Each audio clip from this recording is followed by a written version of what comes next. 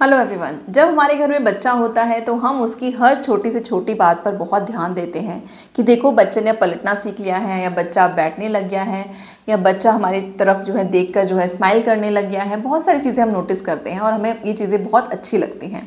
तो ऐसी एक चीज़ के बारे में जिस वीडियो में बात करने वाले हैं जो कि है बच्चों का चलना। तो देखिए, जब आपके घर में जो है बच्चा आता है, आप पहली बार अगर पेरेंट बने हैं तो ऐसे केस में ना हम हमेशा हर चीज़ बहुत ज़्यादा ऑब्ज़र्व करते हैं कि दूसरे का बच्चा तो बहुत जल्दी चलने लग गया, हमारे बच्चे ने अभी तक चलना स्टार्ट नहीं किया, सब कुछ ठीक तो है, मन में एक डर सा लगा रहता है। तो अगर आपके मन में ये डर रहता है तो ये वीडियो देखकर आपके सारे डर जो हैं दूर हो जाएँगे, आपको समझ में आ जाएगा कि क्या चीज़ नॉर्मल है और क्या चीज़ नॉर्मल नहीं है, किस केस में आपको डॉक्टर के पास जाना है। तो चलिए वीडियो स्टार्ट करते हैं। तो बच्चे अक्सर जो है आठ से दस महीने की उम्र में जो है किसी सहारे से सपोर्ट से जो है चलना थोड़ा थोड़ा स्टार्ट कर देते हैं। और पंद्रह से लेकर सत्रह महीने तक का बच्चा जो होता है, वो बिना किसी सपोर्ट के अच्छे से चलने लग जाता है। अब ये केस जो है, हर किसी बच्चे पर अप्लाई नहीं होता है। कुछ बच्चे जो है, थोड़ा पहले भी चलना सीख सकते हैं और कुछ बच्चे थोड़ा सा टाइम ले लेते हैं। ये डिपेंड करता है कि बच्चे की हेल्थ कैसी है। कहीं ऐसा तो नहीं बच्चा जो है प्री मैच्योर हुआ है टाइम से पहले ही हो गया तो ऑब्वियसली बच्चों को थोड़ा सा टाइम लगता है। या फिर अगर बच्चे का वज़न कम है, बच्चा स्ट्रांग नहीं है या बच्चा बार बार बीमार होता है तो ऐसे केस में बच्चे थोड़ा सा टाइम ले लेते हैं। तो चलिए अब जानते हैं कि क्या क्या स्टेजेस होते हैं बच्चे के चलने के। सबसे पहला स्टेज होता है बच्चे का घुटनों के बल चलना, यानी कि क्रॉल करना। और ये जो है बच्चे अक्सर छः से सात महीने की उम्र में जो है शुरू करते हैं। अब शुरू करने से मेरा मतलब है कि एकदम बहुत अच्छे से क्रॉल नहीं करने जाते हैं। धीरे धीरे घुटनों को थोड़ा सा आगे करके, आगे पीछे होना, ये जो है बच्चा स्टार्ट करता है। ये पहली स्टेज होती है बच्चे के चलने वाले प्रोसेस में। नंबर टू स्टेज क्या होती है कि बच्चा जब ये चीज़ करने लग जाता है अच्छे से, उसके बाद जो नेक्स्ट स्टेप लेता है बच्चा, कि बच्चा जो है किसी चीज़ के सपोर्ट के साथ खड़े होने लग जाता है। मतलब बच्चा बैलेंस बनाने लग जाता है। आपने देखा होगा ना बेड या टेबल जो भी आपके घर में होती है, उसे पकड़ के बच्चा थोड़ी देर खड़े रहने जाता है। वो बच्चे को जो है पैरों में स्ट्रेंथ मिल रही है, वो समझ में आ रहा है कि किस तरीके से बैलेंस करना है। ये नेक्स्ट स्टेज होती है। नंबर थ्री स्टेज होती है कि बच्चे को जब समझ में आ गया कि इस तरीके से बैलेंस करना है, फिर धीरे धीरे आप देखोगे कि बच्चा चीज़ों को पकड़ के, जैसे बेड और टेबल वगैरह को पकड़ के, जैसे खड़े हो रहा था, अब धीरे धीरे करके जो है थोड़ा थोड़ा दूर जो है बच्चा हल्के हल्के कदम जो है रखने लग गया है। ये नेक्स्ट स्टेज होती है।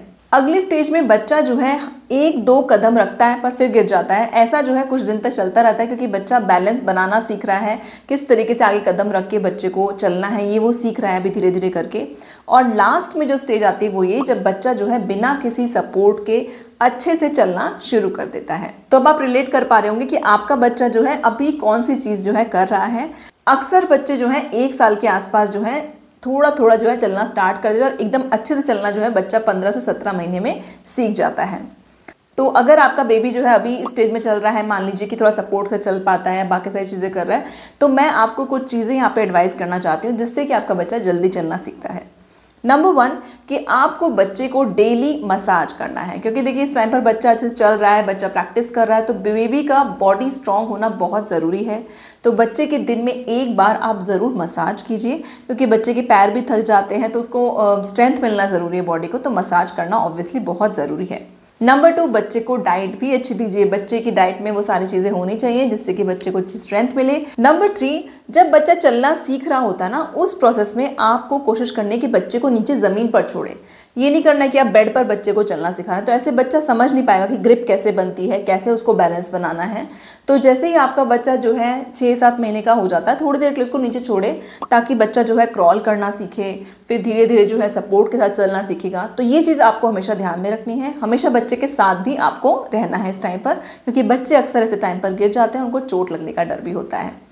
जब बच्चे को आप चलाना सिखा रहे हैं तो बच्चे को जो है नंगे पैर रहने दीजिए। ऐसा नहीं शूज़ पहनाकर या फिर आप कोई भी फुटवेयर पहनाकर बच्चे को चलना सिखा रहे हैं। ऐसा करना बिल्कुल गलत है, क्योंकि बच्चा जो है ग्रिप अच्छे से बनाना नहीं सीख पाएगा। नंगे पैर आप चलना सिखाइए तो बच्चे को जल्दी समझ में आएगा किस तरीके से चलना है, कैसे बैलेंस बनाना है। अगर ठंड बहुत ज़्यादा है तो ऐसे केस में या तो आप घर में मैट बिछा सकते हैं ताकि बच्चा उस पर चले, या फिर आप बच्चे को बहुत पतली सी सॉक्स बना सकते हैं, बहुत मोटी नहीं कॉटन की हल्की सॉक्स बनाइए, ताकि जिससे बच्चा अच्छे से चल पाए और बच्चे को ठंड भी ना लगे। नेक्स्ट बच्चा जब चलने के प्रोसेस में होता है, बच्चा चाहे क्रॉल कर रहा है, घुटनों के बल चल रहा है या फिर धीरे धीरे चलना सीख रहा है तो ऐसे टाइम पर मैं आपको बोलूँगी कि आप बच्चे को जो है पूरे पजामा पहना कर रखें, क्योंकि बच्चा जब क्रॉल कर रहा होता है तो कई बार उसको जो है इधर घुटने पर जो है स्क्रैच वगैरह आ जाता है, बच्चे को चोट लगने का डर हो सकता है तो हम नहीं चाहते हैं तो इसलिए पूरा आप उसको पजामा पहनाइए। कई बार ऐसा होता है ना कि बच्चे को आप चलना सिखा रहे हो, पर बच्चा थोड़ा इंटरेस्ट नहीं ले रहा होता। तो ऐसे केस में आप क्या कर सकते हैं? बच्चे के सामने थोड़े टॉयज रख दीजिए और बच्चे को दूसरे एंड से बुलाइए कि मेरे पास आ जाओ, मम्मा के पास आ जाओ, पापा के पास आ जाओ।